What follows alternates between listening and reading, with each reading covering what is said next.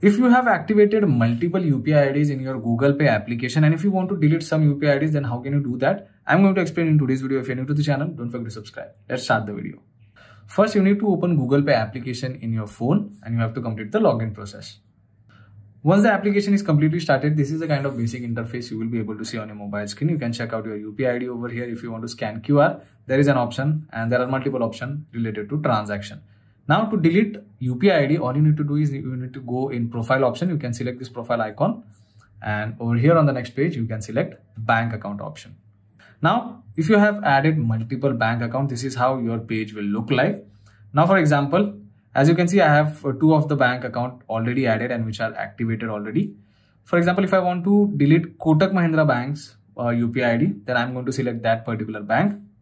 On the next page, I'm going to select the manage UPI ID option. And over here, you can see three of three UPI IDs are already added. If I select this arrow option, it will show me the UPI ID.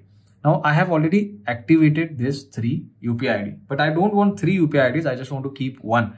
Then for example, if you don't want this at the rate OK SBI, then you have to select this three dot option and then select delete option. Now you can see if I once again select delete, it is deactivating the UPI ID. And after some time, you can see the UPI ID has been removed. So you once again get the plus option to activate it. Similarly, if I select this three dot over here and if I select the delete option, I can also delete this UPI ID. I would recommend to keep one UPI ID active for any particular bank so that you can do the UPI transaction for that particular bank.